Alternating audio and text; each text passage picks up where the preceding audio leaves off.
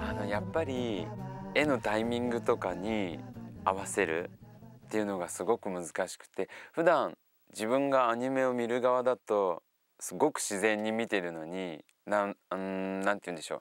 こう疑問とかいろんなものを思わなくて考えなくて見てるのにいざ自分がこう挑戦するとそういうものがすごく気になってこのタイミングでいいのかなとか今の言い回しで合ってるのかなとか。おはようございます。おはようございますようございますよろしくお願いしますよろしくお願いします。ますじゃあすすお座りあ、はい。はい えーっとですねはい。犬ですはい。犬ですはい。はいえーっとこのははぐみちゃんのはい。え、なんで笑ってんですか？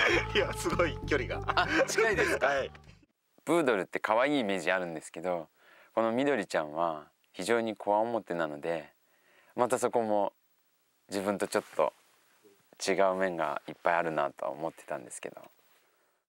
絵は見ました？あ、見ました。見ました？なんか顔が怖い。そうなんですよ、はい怖い犬ハグちゃんを守ってるはい。犬なんであちょっとこわもて。そうですね、はい。だから割とあのドスを聞かせて言うとなってもらえると。はい。はい。頑張ります。割とずっとガルルル。ルガルルルルで、徐々にこう怒りのテンションがはい。上がっていくような、誰だ貴様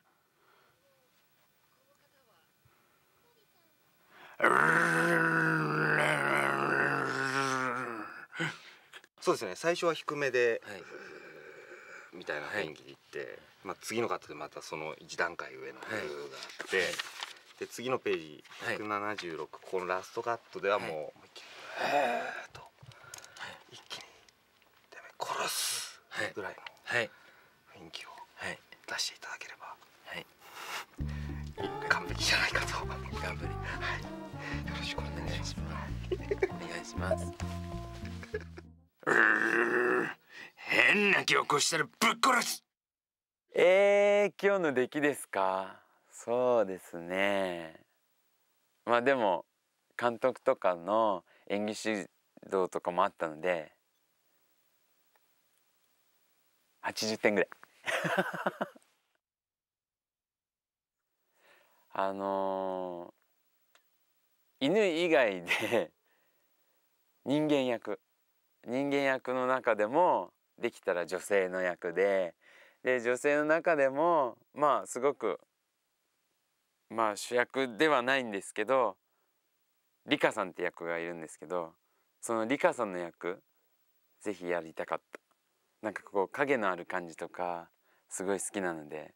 まあ実際あのまあ恋愛対象は自分は男性なんですけどでも人間的に好きなのはちょっとかどっか影のあるような人が好きなのでなんかそういう役とかやってみたかったです。皆さん私の演技どうでした？えー、ハチクロのストーリーもこれからどんどんどんどん盛り上がっていくので恋の行方も気になると思います。ぜひ DVD 全巻揃えてくださいね。よろしく！